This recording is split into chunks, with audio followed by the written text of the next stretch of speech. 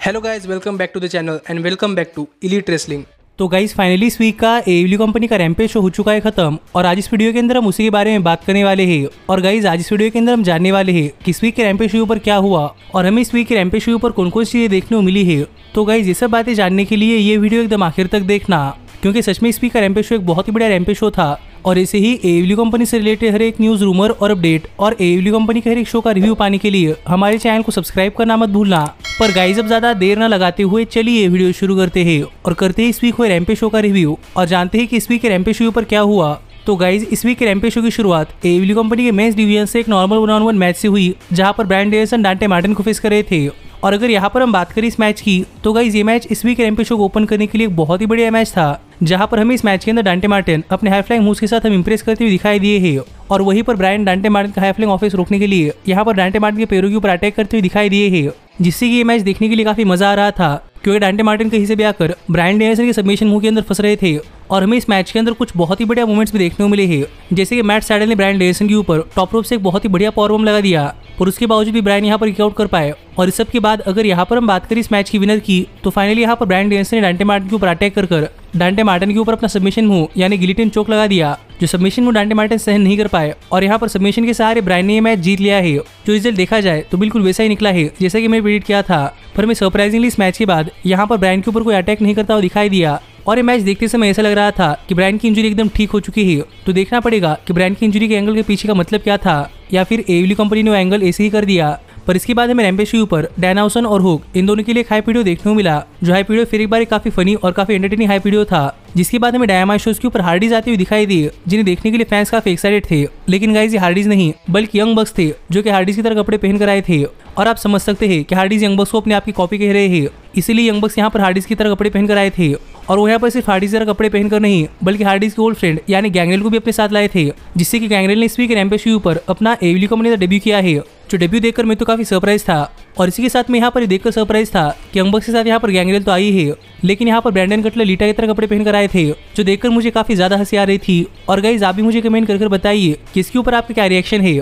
पर यहाँ पर यंगबक्स का मैच किन्हीं लोकल टैलेंट के खिलाफ था? और अगर यहाँ पर हम बात करें इस मैच की तो गाइस जैसे ही मैच शुरू हुआ, वैसे ही यंगबक्स ने इस मैच के अंदर एकदम हार्डी से रसल करना स्टार्ट कर दिया। और इस मैच के अंदर यंगबक्स ने हार्डीज के ही मूव लगाए हैं, जो मूव देखकर डिफ्रेंशिएट करना काफ़ी मुश्किल लग रहा था कि यहाँ पर यंगबक्स से मैच रसल कर रहे हैं, या फिर यहाँ पर हार्डीज ही मैच रसल कर रहे हैं, क्योंकि ये मूव एकदम एक्यूरेट कॉपी थे, जो करना काफ़ी मुश्किल है।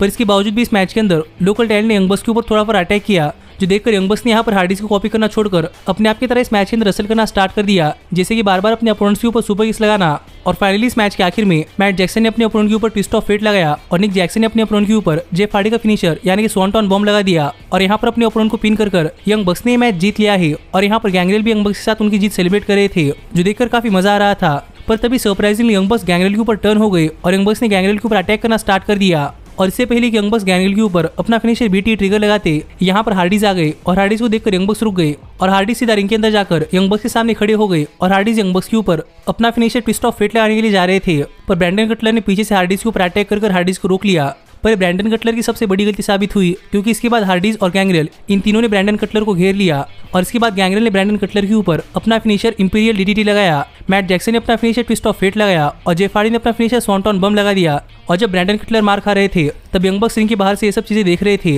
जिससे कि हम समझ सकते हैं कि माना कि यंगबक्स सब भी हार्डीज को अपना आइडल मानते हैं, लेकिन यंगबक्स सब भी हार्डीज से डरते हैं, और इनके अंदर गैंगरल और हार्डीज एक साथ आ गए, जिनकी पुरानी फ्रेंडशिप देखकर काफ़ी मज़ा आ गया। पर अब देखना पड़ेगा कि आगे चल के जब हार्डीज और यंगबक्स के बीच में मैच होता है तो ये मैच इतना बढ़िया मैच होता है और ये मैच कौन जीतता है? पर इसके बाद हमने रैम्पे शो पर देखा कि बैक्स्टेज सेगमेंट के अंदर बात करते हुए डार्बी एलन कह रहे थे कि बॉफिश ने नहीं एडम कोल ने नहीं यंग बक्स ने नहीं, बल्कि कायरोलाइली ने स्टिंग को इंजर्ड किया है। इसलिए डार्बी एलन स्टिंग का बदला कायरोलाइली चाहते हैं। इसीलिए यहाँ पर डार्बी एलन ने कायरोलाइली से एक मैच मांगा। और डार्बी एलन का कहना था कि अगर डार्बी एलन को कायरोलाइली के खिलाफ मैच नहीं मिलता तो डार्बी एलन अनडिस्प्यूटेड इलीट के एक मैच के अंदर इंटरफेयर करने वाले हैं, जिससे कि अनडिस्प्यूटेड इलीट अपना हर एक मैच हार जाएगी। जो बात यहाँ पर डार्बी एलन ने कही तो देखना पड़ेगा कि क्या कायरोलाइली चैलेंज एक्सेप्ट करते हैं या नहीं। पर इसके बाद हमें रैम्पेज शू पर देखा, कि यहाँ पर दक्लेम अपने मैच के लिए आई थी, और यहाँ पर दक्लेम के मैक्स कैस्टर का मैच डांटे मार्टिन के खिलाफ था।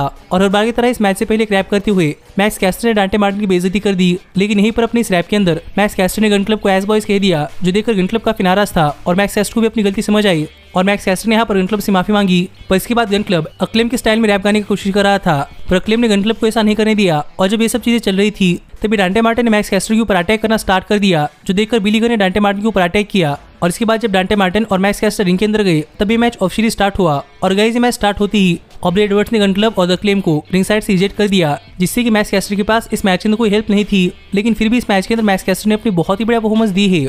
और जब भी कभी डांटे मार्टिन इस मैच के अंदर अपने हाई फ्लाई मूव लगाने के लिए जाते, तब मैक्स कैस्टर डांटे मार्टिन के पैरों के ऊपर अटैक करते, जिससे कि डांटे मार्टिन अपने हाई फ्लाई मूव नहीं लगा पा रहे थे। और ये वही स्ट्रेटेजी है जो कि ब्रांड ने अपने मैच के अंदर इस्तेमाल की थी। और इसी स्ट्रैटेजी की बदौलत मैक्स कैस्टर इस मैच के अंदर काफ़ी देर तक डोमिनेट कर पाए। पर फाइनली डांटे मार्टिन को भी मैक्स कैस्टर की स्ट्रैटेजी समझ आई। और डांटे मार्टिन ने मैक्स कैस्टर की स्ट्रैटेजी रिवर्स कर मैक्स कैस्टर के ऊपर अपने काफ़ी हाई फ्लाइंग मूव्स लगाए। और मैक्स कैस्टर के ऊपर अपना फिनिशर लगाकर मैक्स कैस्टर को यहाँ पर पिन कर डांटे मार्टिन ने मैच जीत लिया है। जो मैच देखा जाए तो एक ठीक ठाक मैच था, लेकिन गाइज़ ये मैच एक काफ़ी लंबा मैच चला, जो मुझे नहीं लगता कि इस मैच को होना चाहिए था, क्योंकि मैच काफ़ी लंबा खींचा है। पर इसके बाद हमने रैम्पे शो पर देखा कि बैक्स्टेज सेगमेंट के अंदर बात करते एडम कोल कह रहे थे कि एडम कोल को ओएनहार्ट कप टूर्नामेंट जीतना है, क्योंकि उन्हें अपने आप को प्रूव करना है, कि एडम कोल सबसे बेस्ट है, चाहे वो समूह जो खिलाफ क्यों ना हो। पर यही पर बात करते हुए समाओ जो ने कहा कि समाओ जो को कुछ प्रूव करने की ज़रूरत नहीं है, क्योंकि समाओ जो को पता है कि समाओ जो बेस्ट है। तो देखना पड़ेगा कि जब ओएनआर कप टूर्नामेंट के अंदर इन दोनों का ये मैच होता है तो ये मैच कौन जीतता है। लेकिन इसके बाद हमें रैम्पे शो पर दिखाया गया कि कैसे सैमी गेवर ने टी चैंपियनशिप तोड़ दी है। जिसके बाद इनके अंदर मैन ऑफ़ द ईयर यानी कि इतन पेज स्कॉर्पियो स्काई और डैन लैम्बर्ट आए थे। और यही पर बातें करते हुए डैन लैम्बर्ट ने कहा कि सैमी गेवर ने स्कॉर्पियो स्काई की टी चैंपियनशिप तोड़ दी है। पर अब डैन लेबर्ट ने स्कॉर्पियो स्काई के लिए एक नई ट्रेंड चैंपियनशिप बनाई है, जो बातें कहकर यहाँ पर इतन पेज ने नई ट्रेंड चैंपियनशिप निकाली और गाइज़ नई ट्रेंड चैंपियनशिप एकदम गोल्ड की प्लेटिंग के अंदर है, जो देखने के लिए काफ़ी अच्छी लग रही है। और मुझे तो टीएनटी चैंपियनशिप का ये वर्जन टीएनटी चैंपियनशिप के पिछले वर्जन से काफ़ी पसंद आया है। और आप भी मुझे कमेंट कर बताइए कि आपका इस बेल्ट की इस वर्जन के ऊपर क्या कहना है। पर गाइस, जैसे ही टाइटल रिवील हुआ, वैसे ही टाइटन क्रॉस स्क्रीन के ऊपर सैमी गवेरा टाइकोंटी और फ्रैंकी गजेरिन आ गए। और यहाँ पर अगर बातें करते सैमी गवेरा टाइकोंटी और फ्रैंकी गजेरिन कह रहे थे कि उन्होंने पहले ही कहा है कि जब तक सैमी गवेरा टाइकोंटी और फ्रैंकी गजेरियन इन्हें पेज वेंजैन और अमेरिकन टॉप टीम के खिलाफ मैच नहीं मिलता, तब तक मैन ऑफ़ द ईयर की चीज़ें डिस्ट्रॉय करने वाले हैं। और इस बार ये चीज़ें डिस्ट्रॉय करने के लिए कहीं और पर नहीं, बल्कि अमेरिकन टॉप टीम के ट्रेनिंग स्कूल के अंदर पहुँचे थे, जहाँ पर जाकर सैमी गेवेरा ने अमेरिकन टॉप टीम के सभी चैंपियनशिप का शेल्फ तोड़ दिया, जो देखकर डैन लैम्बर्ट और मेन ऑफ़ ईयर काफ़ी गुस्सा थे। और यही पर बातें करते हुए डैन लैम्बर्ट और मेन ऑफ़ द ईयर ने कहा कि अब बहुत हो चुका। सैमी गेवेरा को उनका रीमैच चाहिए तो सैमी गेवेरा को उनका ये मैच मिलेगा, जहाँ पर एक mix gender tag team match के अंदर सैमी गेवेरा टैकोंटी और Frankie Kazarian Ethan Page Paige VanZant और स्कॉर्पियो स्काई को फेस करेंगे। जो बातें अगर यहाँ पर स्कॉर्पियो स्काई ने मैच एक्सेप्ट कर लिया है तो देखना पड़ेगा कि ये मैच कब होता है और ये मैच कितना बढ़िया मैच होता है। और पेज वैनजैन की एवली कंपनी परफॉर्मेंस कैसी होती है? लेकिन गाइज़ इसके बाद हमने रैम्पे शो पर देखा कि स्पीक रैम्पे शो के मेन इवेंट से पहले, यहाँ पर मार्क हैंडी रूबी सोहो और क्रिस टैटलैंडर का इंटरव्यू ले रहे थे।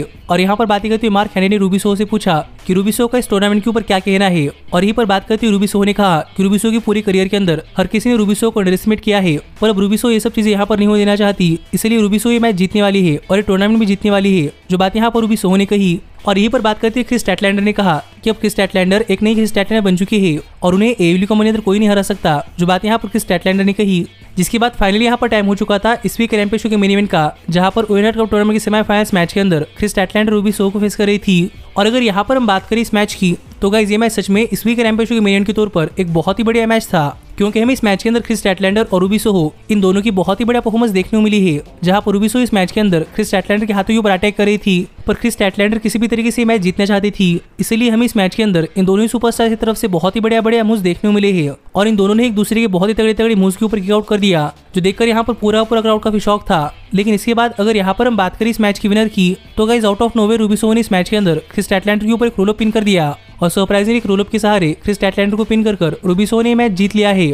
और guys Ruby Soho Owen Hart cup tournament के फाइनल्स के अंदर पहुँच चुकी है, जो देखा जाए तो एक बहुत ही बढ़िया मैच था। लेकिन गाइज़ रूबी शो के मैच जीतते ही यहाँ पर टोनी शिवानी रूबी शो का इंटरव्यू लेने के लिए आ गए। पर इससे पहले को इंटरव्यू ले पाते। यहाँ पर डॉक्टर रीट बेकर आ गई और यहाँ पर डॉक्टर रीट बेकर कुछ कहने वाली थी। और टोनी शिवानी के हाथ से माइक लेकर बातें करते हुए यहाँ पर रूबी सोहो ने कहा कि रूबी सोहो बहुत देर से डॉक्टर वीर बेकर हराने के लिए वेट कर रही है और इस साल के डबल ऑर्थिंग पेपर के ऊपर रूबी सोहो फाइनली डॉक्टर वीर बेकर हराने वाली है और उन्हें सिर्फ़ इतनी बातें कहनी है और कुछ नहीं सुनना, जो बातें यहाँ पर रूबी सोहो ने कही, जिसके साथ इस वीक रैम्पे शो ऑफे चला गया, जो रैम्पे शो मेरे हिसाब से एक बहुत ही बड़ा रैम्पे शो था। और आप भी मुझे कमेंट कर बताइए कि आपका इस रैम्पे शो पर क्या कहना है पर गाइस जैसे ही एवल्यू कंपनी से रिलेटेड हर एक न्यूज़ रूमर और अपडेट और एवल्यू कंपनी के हर एक शो का रिव्यू पाने के लिए हमारे चैनल को सब्सक्राइब करना मत भूलना पर गाइस अब मैं मिलता हूँ आपसे अगली वीडियो के अंदर पर तब तक stay healthy stay happy and keep watching elite wrestling Hey, did you like that video? Click the screen for more. And where do you think you're going? Check out our official merchandise page and to support the entire cast. And thanks so much for being the elite. The elite, the the elite. What, Nick, you're not going to sing it all with me this time?